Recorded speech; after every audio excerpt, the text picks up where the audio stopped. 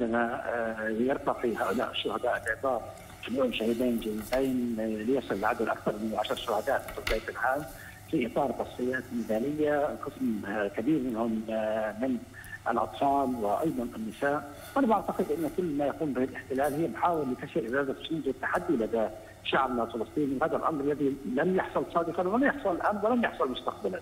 لذلك اليوم هذه الدماء الغزيره التي قدمها الشعب الفلسطيني تؤكد على أن معركتنا مع الاحتلال متواصلة بجسريه تستكون شعبنا من أجل الوصول إلى حقوقنا الثابتة في العودة وتقرير مصير وقامت دوله فلسطينيه مستقله كانت تشهد عاصمه القدس. اليوم آه مسؤولية مضاعفة أمام كل أطراف المجتمع الدولي، أمام الأمة العربية الإسلامية، أمام الأمم المتحدة وأمام مجلس الأمن والجمعية العامة المتحدة بشخص حقوق الإنسان واليونسكو وكل المؤسسات الدولية التي ترى بأم عينها ما يجري، أول أمس كان هناك اجتماع للجنة التنفيذية برئاسه الرئيس مازن وأكدنا على أهمية توفير الحماية الدولية لشعبنا الفلسطيني في ظل تصاعد عدوان وجرائم الاحتلال المتواصل الشعب الفلسطيني وشلال الدم الفلسطيني النادر.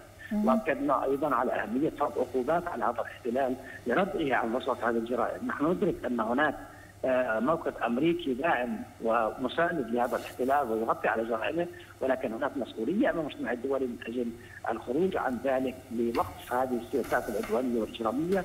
وتحديدا المحكمة الجنائية الدولية التي نرى أن هناك تلقي وتعرض من استحقاقات لا علاقة فتح تحقيقات لمسؤولي الاحتلال الامنيين والعسكريين وخاصة في ظل الملفات المحالة لها. من قبل منظمة التحرير الفلسطينية وفي مقدمتها سياسات التصفية والقتل. أنا بعتقد إنه هذا العدوان والجرائم طلب فرض عقوبات جادة وحقيقيه على الاحتلال بعيدا عن بيانات الشجب والاستنكار فتتطلب أن يكون هناك محاكمة جادة لهذا الاحتلال لقطع على نصره هذه الجرائم. دون ذلك سيبقى الاحتلال يواصل جرائمه مستندا إلى الموقف الأمريكي الداعم له والمغطي على جرائمه نعم. في ظل الفيتو الأمريكي وفي ظل أيضا تراخي المجتمع الدولي عن اتخاذ مبادرة في عملية تحقيق ما يمكن تشير إلى وقف هذه السياسات العدوانية والجرائم. نعم أخ واصل نحن على أعتاب النكبة وهذه الفعاليات التي انطلقت في كل مكان وأبرز هذه الفعاليات ما يحضر في أروقة الأمم المتحدة، كيف يمكن العمل على برنامج برنامج سياسي كامل متكامل هذا البرنامج أن يكون دوليا للتأكيد على استمرارية هذه النكبة في كل يوم من خلال ما يقوم به الاحتلال من إجراءات.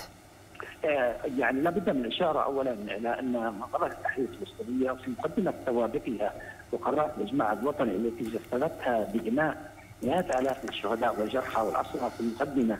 شهيدنا الخالد ياسر عرفات الذي قال لا للمسافه حقائق اللاجئين ولا للمسافه القدس عاصمة الدولة الفلسطينية.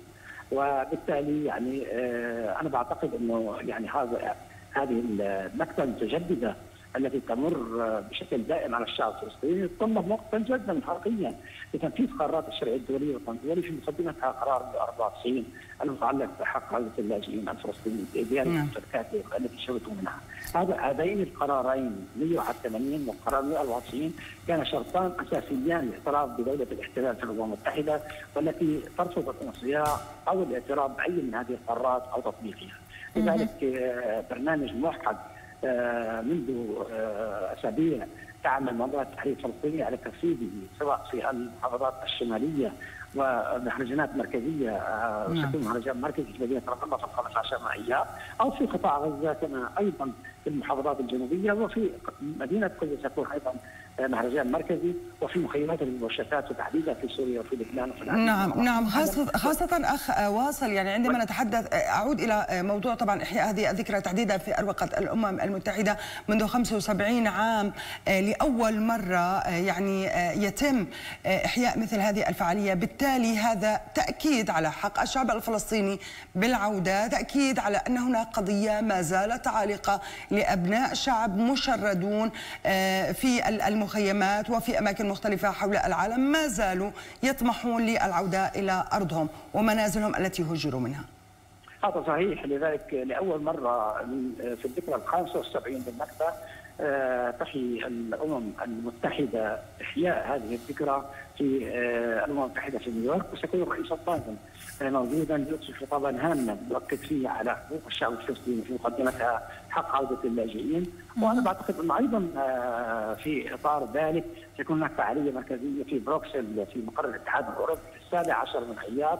لذلك أنا بعتقد أنه سفاراتنا ومثلياتنا في الخارج جميعا لديها الإمكانيات من أجل أن يكون هناك إحياء لهذه الذكرى بشركه أخبار العالم للتأكيد على ان شعبنا الفلسطيني ما زال وسيبقى متمسكا بحق عوده اللاجئين، الكبار صحيح يموتون ولكن الصغار لا ينسون إحياء هذه الذكرى يؤكد على حقوق الشعب نعم. وطلبته نعم. بالعوده وتقييم مصير وقامة الدولة الفلسطينيه المستقله عاصمة القدس وضابط منظمات التحرير الفلسطينية الممثل الشرعي الوحيد للشعب الفلسطيني. نعم ولكن نحن نتحدث أيضا عن اكتفاء المجتمع الدولي ببيانات الاستنكار والإدانة والتي فعليا بالفترة الأخيرة بدأت تتلاشى وتختفي وهذا يزيد من تشجيع الاحتلال على الاستمرار بأفعاله ولكن في المقابل نتحدث عن النسيج الوطني الفلسطيني في مواجهة هذه الانتهاكات وهذه الجرائم التي يقوم بها الاحتلال الإسرائيلي بشكل يومي بحق أبناء شعبنا الفلسطيني، نحن نتحدث عن ما يعادل شهيد وأكثر كل يوم. هذا صحيح.